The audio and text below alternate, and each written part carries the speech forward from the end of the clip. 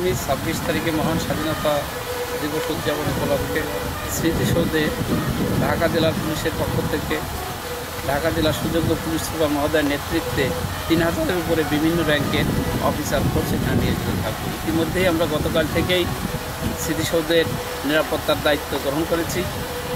Police ব্যতীত অন্যান্য সংস্থার লোক এখানে তারা নিয়োজিত থাকবে।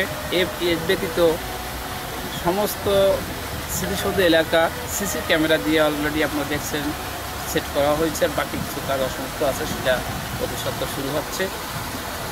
এ, এটা বাদেও রোড সাইডে আমরা পর্যবেক্ষণ টাওয়ার স্থাপন করছি, যাতে বহিরাগত কোনোভাবে দুষ্কৃতি কর্তৃক কোনোভাবে আক্রান্ত না হয়, তার জন্য সর্বাত্মক ব্যবস্থা আমরা করি।